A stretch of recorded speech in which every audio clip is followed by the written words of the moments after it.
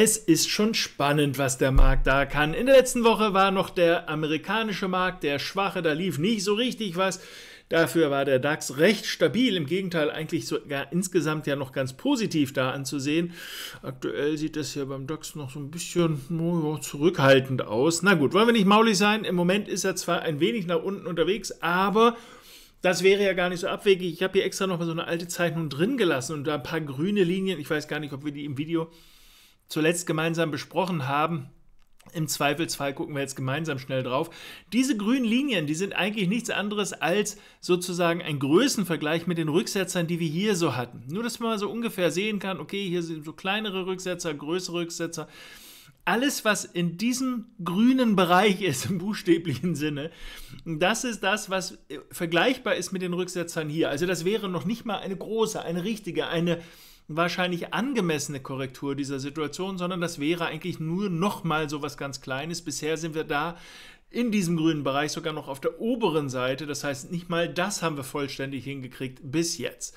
Na gut, es ist noch nicht alle Tage Abend. Es kann ja noch sein, dass wir in diese Box reinlaufen. Das ist wie gesagt nur so ein Angebot, dass der Kurs sehr gerne häufig da eben in diese Zone in etwa reinläuft. Das kriegen wir sicherlich auch nochmal schöner gezeichnet. Naja, kriegen wir nicht, aber ihr wisst ungefähr, worauf ich hinaus will.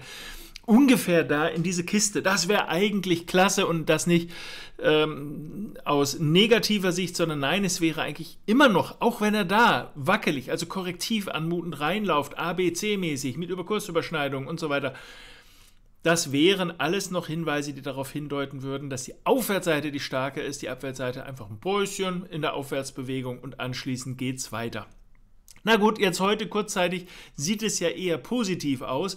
Also wir sehen das hier im Nahkampfchart sozusagen, dass der Markt hier zumindest nach oben strebt. Und das liegt sicherlich auch an den Amerikanern, denn die gehen nach oben. Auch da gibt es eigentlich gar nicht viel Neues. Das ist jetzt ein Update eigentlich nicht mit Neuigkeiten, sondern eigentlich nur nochmal mit einer Bestätigung dessen, was äh, wir in der letzten Woche ja angedeutet haben. Das heißt Bestätigung, also einer Fortsetzung sozusagen nämlich dass das hier alles noch relativ korrektiv anmutet. Ein möglicher Trigger wäre die Oberseite. Noch schöner ist es natürlich, wenn er auf dem Weg dahin irgendwie sowas bietet. Aber darüber haben wir schon so häufig gesprochen. Ihr wisst, worauf ich da hinaus will. Es sieht aber nach einer Korrektur aus. Das können wir relativ gut so sagen. Und das bestätigt sich immer mehr, auch dadurch, wenn jetzt dieses Zwischentief hier ja, getoppt wurde vom Markt. Das heißt, nochmal wieder eine Überschneidung mehr. Wir hatten das hier schon mal. Also die Abwärtsseite ziemlich deutlich schwach. Und wenn die Abwärtsseite schwach ist, dann wird es wohl nicht die Haupttrendrichtung sein. Dann können wir darauf setzen, naja, ich sag das mal so, aber dann können wir darauf hoffen, darauf warten oder uns entsprechend darauf vorbereiten aus Trading-Sicht, dass wenn wir diese Trendsituation verlassen, dass dann eben die Aufwärtsrichtung weitergeht. Trend Abwärtstrend verlassen. Einige interpretieren das als, wenn wir hier das Zwischenhoch rausnehmen, das ist so mein Ding. Man könnte diese Marke nehmen, allerdings ist die ein bisschen, ist noch sogar innerhalb des Trendkanals. Die würde ich jetzt ungern eigentlich für einen Einstieg nehmen. Manch einer achtet auch auf den Trendkanal und sagt sich, wenn er den verlässt, alles Ideen, alles durchaus vertretbare Ansätze, um zu sagen, okay, die Abwärtsseite ist zu Ende. Beweise sind, ist keins von diesen äh, Brüchen oder keiner dieser Brüche ist ein echter Beweis, aber es ist ein Hinweis und wir wissen ja als Trader müssen wir immer mit Hinweisen rechnen und dann gucken, was ist das wahrscheinlichere Bild und dann machen wir da entsprechend die Trading-Situation oder versuchen das entsprechend umzusetzen. So, aber das ist ja noch nicht alles. Wir haben ja auch noch den S&P und der ist völlig außer Rand und Band, könnte man sagen. Er ist weiter auf dem Weg nach oben. Wir hatten ja vorne schon gesagt, dass das ziemlich nach einem Impuls aussieht. Hier wohl irgendwie eine Form der Korrektur. Darüber kann man zwar streiten, Mensch, hätte das nicht jetzt hier eine Korrektur, also Schub runter und eine Korrektur nach oben, richtig, aber er hat ja nicht getriggert, also gab es auch keinen Grund hier für die Short-Seite. Im Gegenteil, ja, jetzt ist er ja steil auf der Aufwärtsseite, solange er steil auf der Aufwärtsseite ist. Mal gucken, vielleicht kriegen wir sowas hier wie hier vorne hier auch noch hin, dann haben wir noch eine Chance, dass da ein bisschen was geht. Also noch ist da keine echte Schwäche zu erkennen.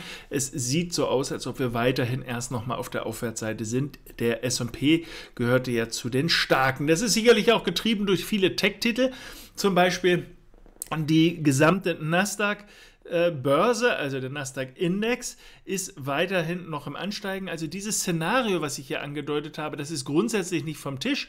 Nur offensichtlich nicht an dieser Stelle. Dafür hätte er wackelig hochgemusst und triggern müssen, richtig. Also, das hätte ich ja noch als eine starke Bewegung durchgehen lassen, insbesondere wenn er jetzt hier irgendwie sowas macht.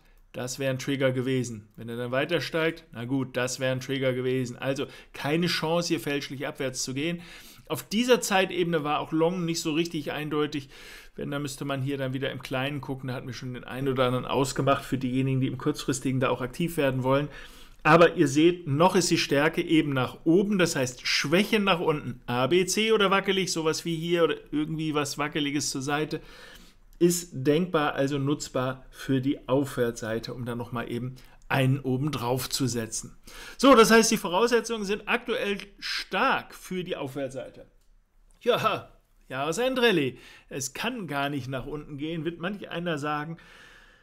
Und äh, tatsächlich sieht es aktuell zumindest so danach aus, als ob die Marktteilnehmer einfach darauf keine Lust haben. Wir müssen uns also nicht so sehr für die Short-Seite vorbereiten. Wir müssen gefasst sein, wenn irgendwas passiert. Ja, aber wir müssen uns im Moment nicht vorbereiten, denn offensichtlich ist die Aufwärtsrichtung die eindeutig stärkere. Und äh, solange sich das Bild nicht ändert durch eine starke Abwärtsrichtung, müssen wir uns da ehrlich gesagt noch gar keine Gedanken oder Sorgen machen, sondern können Rücksetzer für weitere Fortsetzungen nutzen. Wer das zumindest mal möchte, kann das im Fokus haben. So, viel mehr gibt es bei den Indizes eigentlich gar nicht zu erzählen. Ich könnte eine Stunde quatschen, aber Neues gibt es daraus wahrscheinlich auch nicht abzuleiten. Insofern euch jetzt erstmal toi toi toi für eure Trading-Entscheidungen. Alles Gute und wir hören uns diese Woche mit Sicherheit noch mehrmals. Bis dann. Ciao, ciao.